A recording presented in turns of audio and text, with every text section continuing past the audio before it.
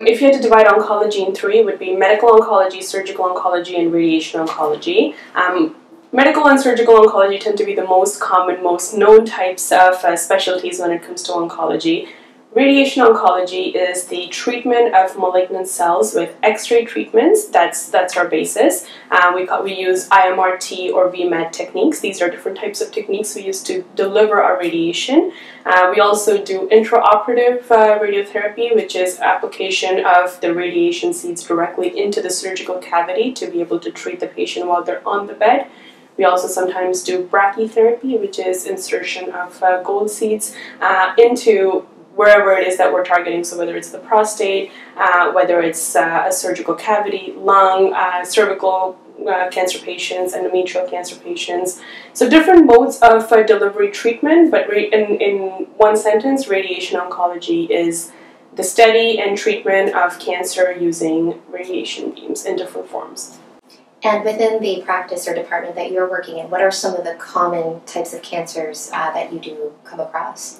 So technically I work for the entire department, which is 39 physicians, um, and that could mean I work in all site groups. Um, over the last four years, I've ended up working in lung, breast, GU, gynae, GI, eye, CNS, uh, pediatric, endocrine, pituitary, and uh, palliative clinic patients.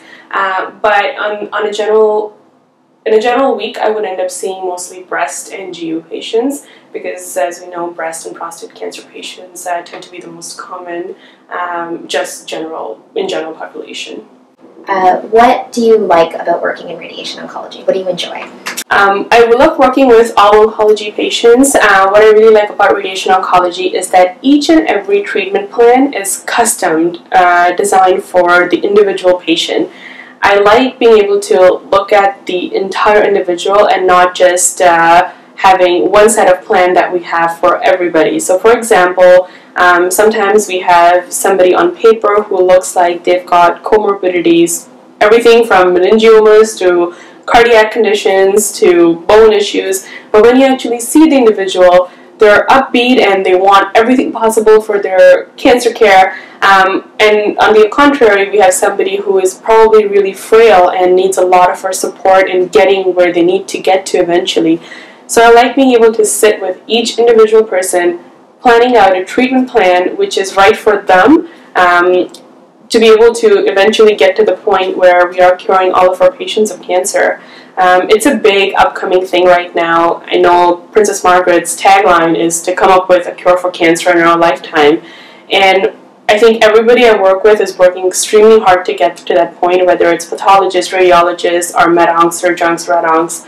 Um, and being able, and just being part of that team uh, makes me feel like I'm doing something extremely valuable for the patients. Mm-hmm. Um, and I'm giving back to the community that I've taken from all these years. And uh, what do you find challenging about uh, radiation oncology? Um, recently, I had a situation where um, I had to give bad news to an individual, a young individual. Um, I've been giving him one bad news after the other. First, a diagnosis of cancer, and then recurrence, which needed an extensive 14 hour surgery uh, with bone grafts and skin grafts um, followed by extensive chemoradiotherapy, made him very sick, and he was just starting to get better.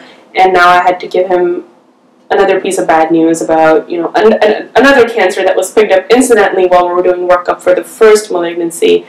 And sometimes that becomes difficult when you have to break bad news. Um, patients are very resilient, and that's one thing I've learned about these cancer patients is that they will take everything you can throw their way.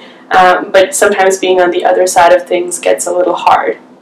I try to use it in a positive way in that I can help them to the best of my ability, um, whether it's just, you know, calling them a week later to checking in and just seeing how you're doing, because that means a lot to them. Um, just knowing that their healthcare provider hasn't forgotten about them and they're not just a number in your chart.